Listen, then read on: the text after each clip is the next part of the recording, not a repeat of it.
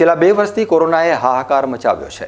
દેશભરમાં કેટલાય લોકો આ કોરોના સામેની લડાઈમાં જંગ હારી જઈ મોતને ભેટ્યા છે.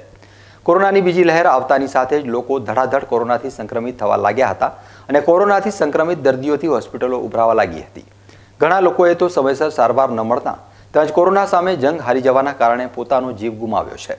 ત્યારે આ કોરોનાની બીજી લહેરમાં મોતને ભેટેલા મૃતકોના આત્માને સદગતિ મળે.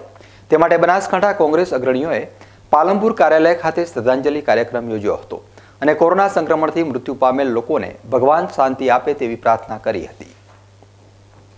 ઉપરાંત કોંગ્રેસના નેતાઓએ આ કાર્યક્રમમાં સરકાર ઉપર આક્ષેપો કરતા જણાવ્યું હતું કે કોરોનાની બીજી લહેરમાં સરકાર દ્વારા યોગ્ય સવલતો ઉપલબ્ધ કરવામાં ન આવતા અને ઓક્સિજનના અભાવના કારણે કોરોના સંક્રમિત લોકોના મોત થયા છે, જેમાં વર્તમાન સરકાર જવાબદાર છે. જે લોકો મોતને ભેટ્યા છે, તેમના પરિવારને સરકાર દ્વારા આર્થિક સહાય આપવામાં આવે તેમજ કોરોનાથી મૃત્યુ પામેલ લોકોના સાચા આંકડા જાહેર કરવામાં આવે તેવું જણાવ્યું હતું.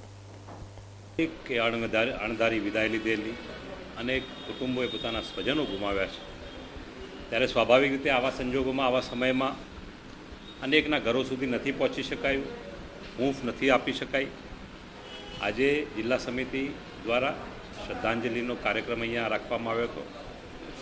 પ્રભુ સદગત આત્માને શાંતિ અર્પે અને પરિવારને શક્તિ અર્પે. સાથોસાથ, બીજી લહેર કોરોનાની એ આઘાતજનક રીતે ઘાતક નીવડી.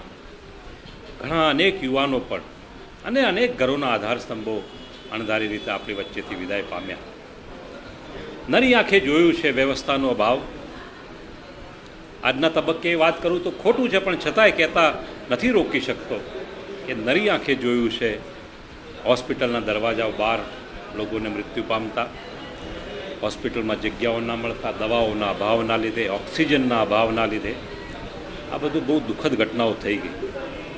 સરકારશ્રીને આ તબક્કે વિનંતી છે કે જનાર તો જતો રહ્યો છે, હવે પાછા નથી આવવાના.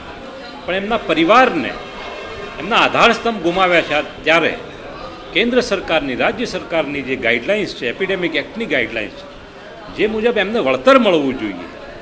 એ મુજબ સાચા આંકડા બહાર પ્રસ્તુત કરવા જોઈએ અને લોકો સુધી પહોંચી અને એક વ્યવસ્થા ઊભી કરવી જોઈએ. જેથી નાનામાં નાને છેવાડાઓ રહેતો માણસ પણ એ વ્યવસ્થામાં પોતાની નોંધણી કરાવી શકે અને એનો લાભ પામી શકે. આપના સમક્ષ આ લિસ્ટ મૂકું છું. આપ ગુજરાત પ્રદેશ કોંગ્રેસ સમિતિએ ઓનલાઈન એપ બનાવી છે.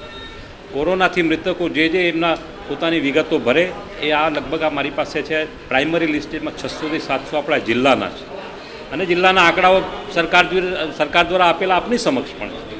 આજે આટલો મોટો તફાવત આંકડાકીય આ કેટલા અંશે વ્યાજબી છે? મારી વહીવટીતંત્ર સરકારશ્રીને વિનંતી છે. અમે આપની સાથે છે. બધો જ ડેટા આપને આપીશું. તમે ના પહોંચી વળો તો અમે ડેટા લાવીશું. પણ જે ચાર લાખ રૂપિયાની માગણી છે ને માગણી એટલે એ સરકારનો કાયદો છે. એપિડેમિક એક્ટ તહેત કાયદો છે. એ આ લોકો સુધી પહોંચતો કરે ફરીથી ખૂબ ખૂબ શ્રદ્ધાંજલિ શ્રદ્ધાંજલિ, અંતઃકરણની શ્રદ્ધાંજલિ પાઠવું